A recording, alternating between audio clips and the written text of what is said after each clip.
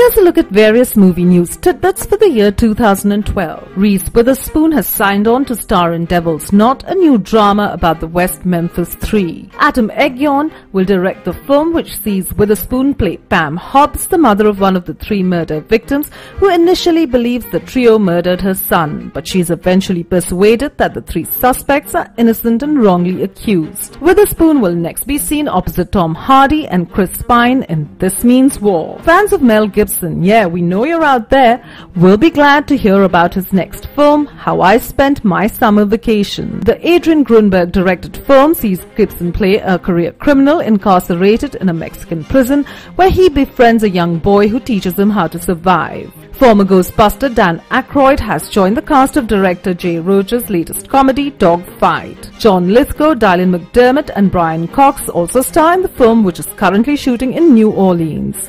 Dogfight will be releasing this coming August. Seth Rogen will produce and possibly star in The B Team, a new spy comedy from Disney which is apparently a comedic take on Mission Impossible. The project was originally picked up by Disney in 2008 when Derek Garley and David Schneiderman pitched the project to the studio.